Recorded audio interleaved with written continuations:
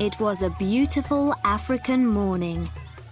Children were playing happily in the village streets. The women were washing clothes in the river and singing songs about lazy husbands. The great chief listened to the two men sitting in front of him. Great chief, the man next to me is a thief, said the older man. Is that really so? replied the great chief. Then tell me, what did he steal from you? One of my sheep, answered the old man. And what is your answer to that? The great chief asked the younger man.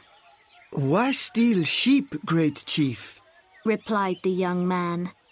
I have lots of them. If I need more sheep, I buy them. I don't steal them from other people. He's the thief, not me. The great chief looked at the far mountains and smiled. Then he looked at both men. Was the young one lying? He wasn't sure. But the old man didn't have the look of a thief. This was a difficult problem. He wasn't going to find the answer in just a few minutes. But the great chief liked problems like this more than any other. It took some time to find the answer. People came to him from very far away to ask him to be the judge of their problems. The great chief liked this also. I have a question for both of you, said the great chief. The person who finds the solution will keep the sheep. Go home and think about this question and come back only when you know the answer. What's the fastest thing in the world? Don't come back until you have the solution. The two men left the great chief's house. The old man was sad. How could he find the answer to such a difficult question? When he got home, he told the question to his daughter, Zia. She was a beautiful, happy woman who liked helping others. She was young, but she was also very wise. I know the answer, Father, she said. It's time. The old man went back to the great chief's house. The great chief was surprised. You're back again? Not even one hour has passed, and you already have an answer to my question? Yes, great chief, replied the old man. It wasn't so difficult. So tell me, what is the fastest thing in the world? Time, answered the old man. It always goes too fast. There's never enough time for all the things that we want to do. And when we want more time to do something, it goes faster. The great chief was surprised. The old man's answer was even better than his solution. Who helped you to find the answer? Who gave you these words? asked the great chief. They're my words, said the old man. No one helped me. If that's not true, I'll punish you, said the great chief. The old man was too afraid to go on with his story. It was my daughter, Zia. She's a very wise young woman, and she gave me the words, he said. She must be very wise, thought the great chief. Very well, he said. You have found the answer. And so you shall keep the sheep. And now that this is all finished, I think that I'd like to meet your daughter. The next day, the old man brought his daughter Zia to meet the great chief. They sat at the great chief's table and had a big lunch chicken, rice, fruit, and a drink made from palm juice. During lunch, they talked about the young man who stole the sheep and about how difficult it was to be a good judge. The great chief enjoyed the lunch very much. While he talked about this and that with Zia, he felt so happy that he wanted to sing and dance. Was it the palm juice drink? Or the wise and beautiful young woman looking into his eyes? But time always passes too fast, and soon it was time for them to leave. The great chief saw Zia every day, and his love for her grew and grew. You're a wise and beautiful woman. I'd really like to marry you, he said. Me too, replied Zia, laughing. And so they married. The great chief was very happy, but he was also worried about having a wise wife. He didn't want her to help him with the problems that people brought him he liked being the great chief who was a wise judge. He didn't want people to start talking about the great chief's very wise wife.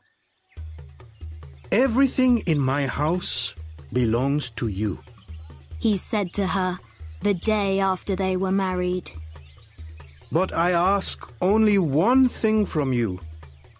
Never try to help with the problems that people bring me. If you do, you'll stop being my wife. I'm saying this to you only once. Zia listened without looking at the great chief. When he finished, she smiled.